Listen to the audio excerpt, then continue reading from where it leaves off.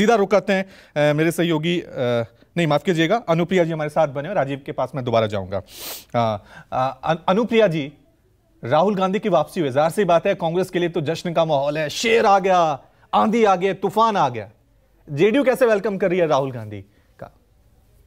रवि जी, कल का जो दिन था, यह बहुत ही सुखद और लोकतंत्र का एक ऐतिहासिक दिन था कि जिस तरह से षड्यंत्र की तरह भाजपा ने एक साजिश रची और इंडिया के एक मज़बूत सहयोगी दल कांग्रेस के नेता राहुल गांधी जी को जिस तरह से सदन से बाहर करने का रास्ता उन्होंने अपनाया था, उसको ऑनरेबल सुप्रीम कोर्ट ने कल जजमेंट जो दिया और जो फैसला उन्होंने कहा, ये एक बहुत ही सुखद दिन था कि अभी भी हमारे देश में लोकतंत्र है और सरकार जितनी भी कोशिश करे लोकतंत्र के खिलाफ या संविधान के खिलाफ कार्य करने की, यह संभव नहीं है। यह देश अभी भी और इसी की लड़ाई लड़ रही है इंडिया। और इंडिया के सहयोगी जितने भी दल है, इसी लड़ाई के लिए एक साथ में आई है। तो कल का दिन बहुत ही ऐतिहासिक दिन था, लेकिन शिवम त्यागी जी जो जिस तरह के वक्तव्य दे रहे थे यहाँ पे, कि भाई आप मोदी जी के खिलाफ बोलिएगा मोदी सरनेम के खिलाफ बोलिएगा तो क्या उम्मीद करते हैं कि भाई भाजपा का कोई नेता जाके न्यायालय के दरवाज़ा नहीं खटखटाएगा?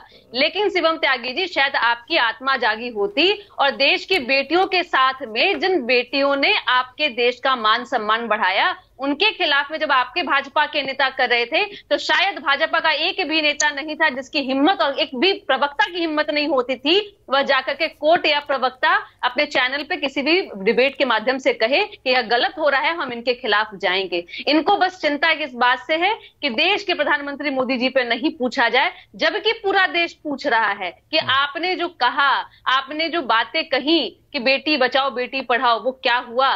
बेटी तो आप ही से नहीं बच रही है। बेटी आपके नेताओं के आ, बेटी का जो सम्मान है आपके नेताओं के कारण ही धुलमिल हो। रहा है। जी। आपने जो जो भी वादे किए जी जी रवि अनुप्रिया जी एक सवाल देश और भी पूछ रहा है कि आपने इंडिया का अलायंस तो बना दिया लेकिन उसका चेहरा कौन होगा?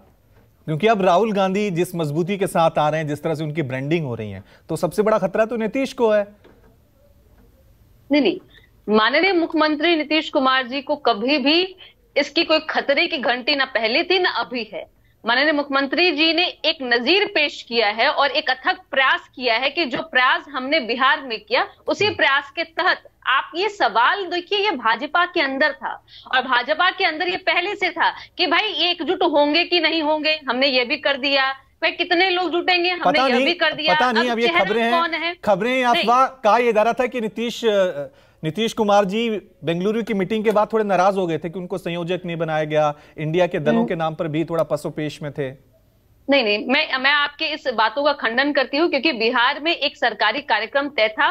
माननीय मुख्यमंत्री जी को वहाँ पहुँचना था इसलिए वो बेंगलुरु की बैठक के बाद में उनकी फ़्लाइट थी वो वहाँ चले आए लेकिन जो बात मैं कहना चाह रही थी कि भाजपा की जो चिंता थी कि भाई एकजुट नहीं हो पाएँगे हम्म। लेकिन देश की मांग को लेकर के जितने भी विपक्षी दल है जिनको ये लगता है कि अब देश अपने आप में एक आ, मैं कहती हूँ कि जहाँ खतरे में है लोकतंत्र खतरे में है और हम्म। देश की मांग पे सारी पार्टियों ने देश के संविधान के बचाव के लिए एकजुट हुए और यह चिंता बीजेपी के लिए है। मैं कहती हूँ कि चेहरे की बात आप मत कीजिए। जो मैजिक नंबर है 2024 में जिसकी बात हम कर रहे हैं वो मैजिक नंबर जब हम पूछे जब हम पहुँच जाएँगे उसके बाद हम जितने भी सहयोगी दल है मिलकर हम तय कर चेहरा चेहरे की बात चेहरे की बात हम नहीं कर रहे हैं। देश की जनता आपसे सवाल पूछेगी और जितनी बार भी आप बैठक करेंगे रैलियाँ करेंगे एक सवाल पूछेगी इंडिया का चेहरा कौन है? और जवाब आपको देना होगा। देश का चेहरा आम जनता होगा और आम जनता की मांग के उनके जो उनका मैंडेट होगा उसके आधार पे होगा। और वो हम लोग जब मैजिक नंबर हम लोग जब प्राप्त कर लेंगे उसके बाद हम ठीक है। कौन होगा। ठीक है।